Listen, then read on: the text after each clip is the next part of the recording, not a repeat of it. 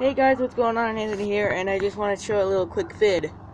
There's a huge spider web on the roof, and I don't know why I'm filming this. I just wanted to show the spiders nice artwork uh, before I tear it down. It's pretty nice.